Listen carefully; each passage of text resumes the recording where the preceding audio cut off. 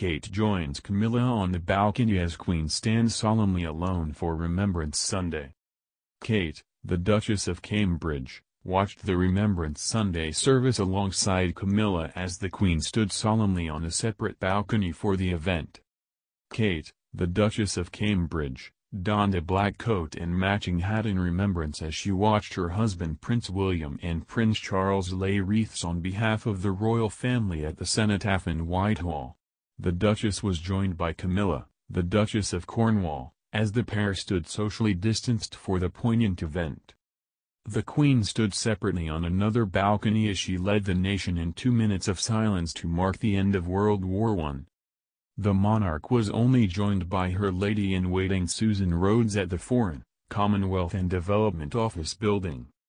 The 94-year-old watched as her son Charles laid a wreath at the cenotaph on her behalf.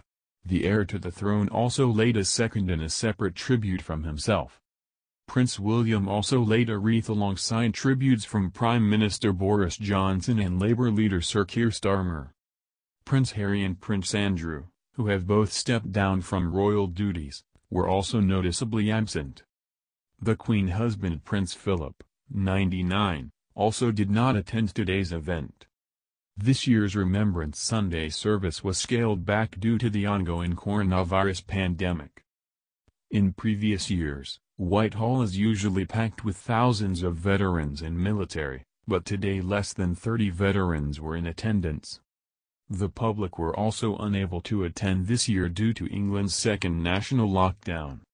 Sophie, the Countess of Wessex, whose husband Prince Edward also laid a wreath, and Vice Admiral Sir Tim Lawrence watched the Remembrance Sunday service on a third balcony. Prince Harry marked Remembrance Sunday from the U.S. by taking part in a podcast for the occasion.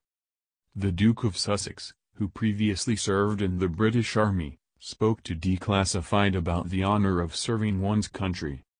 Harry said, being able to wear my uniform, being able to stand up in service of one's country, these are amongst the greatest honors there are in life.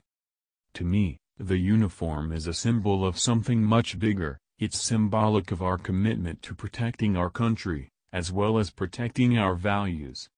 These values are put in action through service, and service is what happens in the quiet and in the chaos. Reflecting on Remembrance Sunday and Remembrance Day, Harry said he wears the symbol of the poppy to recognize all those who have served, the soldiers I knew, as well as those I didn't. He added, I wear it to celebrate the bravery and determination of all our veterans, and their loved ones, especially those in our Invictus family.